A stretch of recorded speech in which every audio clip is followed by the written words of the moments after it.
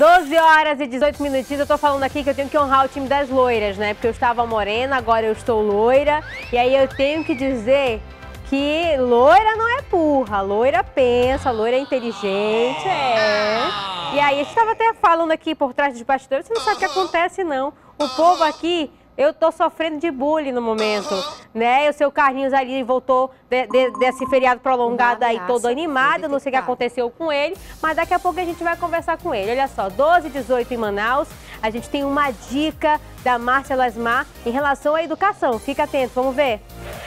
Tá sem tempo para estudar, quer conquistar um diploma, mas o dia a dia tá corrido demais? A Anhanguera tem a solução ideal para você: graduação à distância. Você faz seus horários e o curso se encaixa na sua vida. Você estuda teoria online e uma vez por semana tem aula presencial com a sua turma e com o apoio de um tutor especializado em sala.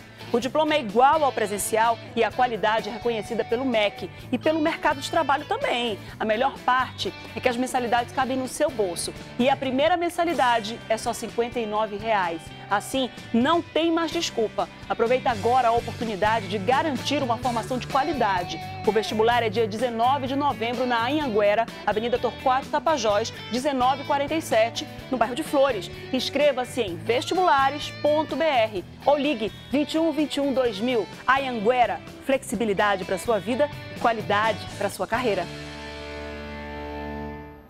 Tá aí mais uma dica e um preço bem acessível, R$ 59,00. Dá para você aí não deixar a oportunidade de cursar o ensino superior agora. A hora é agora, aproveita a promoção e aí você tem a oportunidade de começar 2017 já no ensino superior e, claro, ter a oportunidade de assumir a profissão que você deseja. São 12 horas e 20 minutos, olha... Teve aí uma galera, né, que ama fotografia, né, são observadores. Eles tiveram a oportunidade de ter acesso a uma área restrita do aeroporto Eduardo Gomes. E essa galera toda aí adora aviação. Eles tiveram, né, uma oportunidade de ir a uma área restrita fotografar as aeronaves, né, em decolagem, em pouso. E aí foi bem animado esse dia. Eu estive lá, eu acompanhei e eu vou trazer agora na tela da comunidade. Vem ver.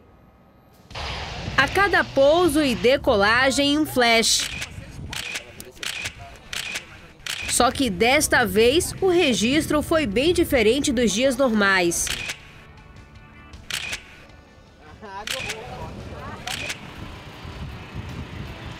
O evento é realizado pela segunda vez aqui em Manaus. É o segundo evento que é realizado aqui no Aeroporto Nacional Eduardo Gomes, né?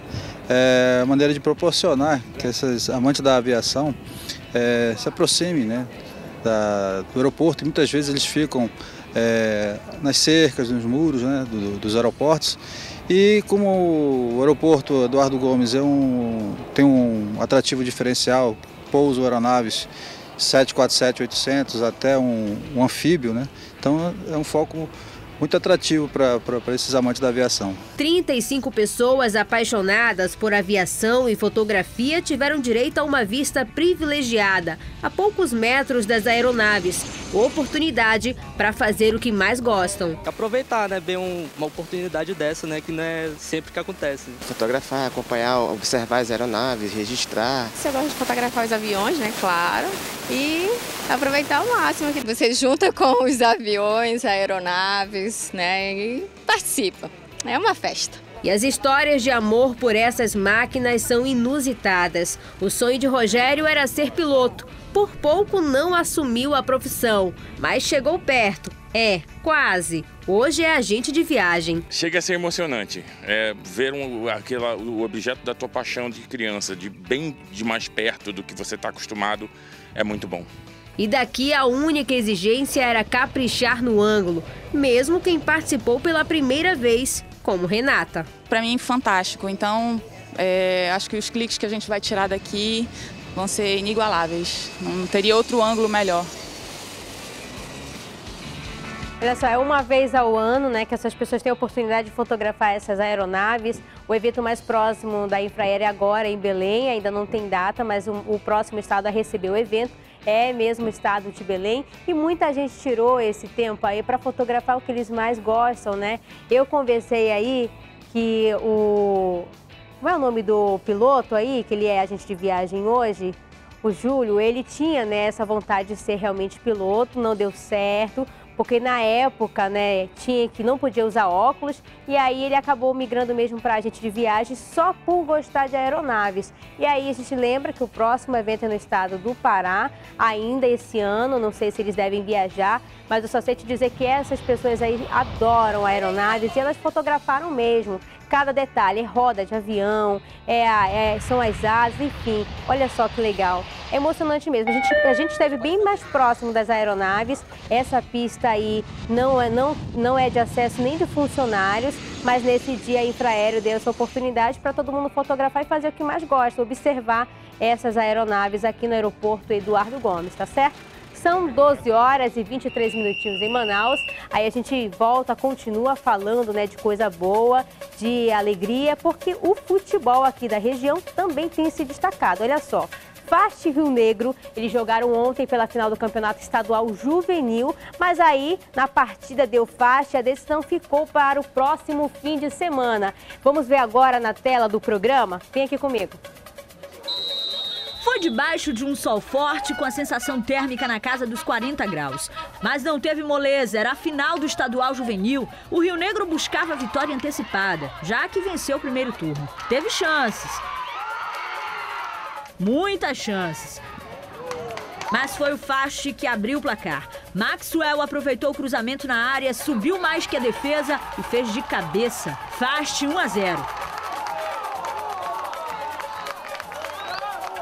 Foi o único gol do primeiro tempo. No segundo tempo, o Rio Negro criou várias chances de gol e perdeu também. Não fez e deu liberdade para o Fast. Nessa jogada, Fernando desperdiçou, mas Maxwell aproveitou o rebote e marcou. Fast 2 a 0.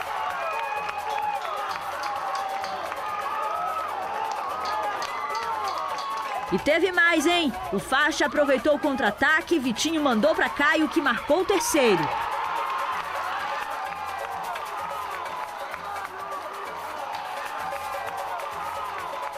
E não acabou não. O zagueiro e o goleiro do Rio Negro se atrapalharam e Carlos, que tinha acabado de entrar, não é bobo nem nada, fez o dele, 4 a 0. O resultado leva a decisão para o próximo fim de semana. O Rio Negro, que estava sem o técnico Ribamar, espera melhorar na próxima partida e levar o título. Essa semana venceu o contrato de quatro jogadores, a gente só conseguiu regularizar um e os três ficaram fora.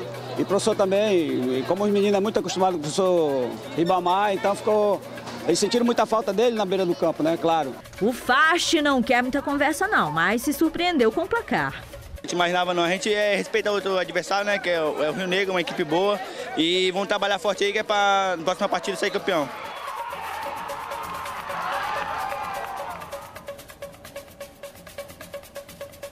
Olha só, só para explicar aí, né, esse fim de semana vai ser decidido então aí quem é que vai levar o Campeonato Estadual Juvenil porque no primeiro turno o Rio Negro ganhou a partida, aí ontem no segundo turno o Fast saiu na frente, então nesse fim de semana deve ser decidido aí quem é que vai levar o título do Campeonato Juvenil Estadual aqui na região. São 12 horas e 26 minutinhos, a gente vai para um breve intervalo e daqui a pouquinho a gente volta com mais informações. Liga, participa pelo nosso WhatsApp, pelos nossos telefones, que a gente vai mostrar a tua participação aqui na tela da comunidade a gente vai pro break agora com os vídeos que já tem muita gente mandando. Olha isso.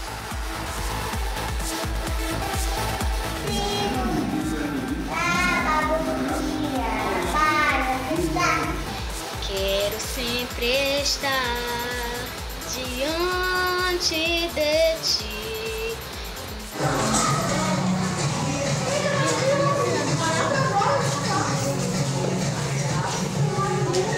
Sua história Jesus pode mudar. Só basta você acreditar que. Voltando pra casa, diz que